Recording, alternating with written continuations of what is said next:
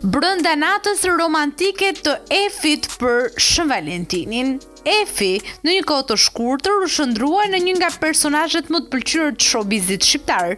Ish-konkurrentja e njohur ndonëse shumë aktive në rrjete sociale dhe pas konfirmimit të lidhjes së saj të dashurisë, ka vendosur që detajet t'i mbajë private. Efi ka rrëfyer se djaloshi që i ka marrë zemrën është ekonomist dhe nuk i përket botës së televizionit, por nuk i ka zbuluar identitetin as në një foto. Por siç duket, ajo paska patur një Shën Valentin të bukur dhe këtë na e zbuloi vetë ajo. Makeup artistja ka zbuluar një foto nga darka ku shihet në një ambient romantik me trëndafila qirinj dhe drita të kuqe dhe ka shkruar Shën Valentini në shtëpi.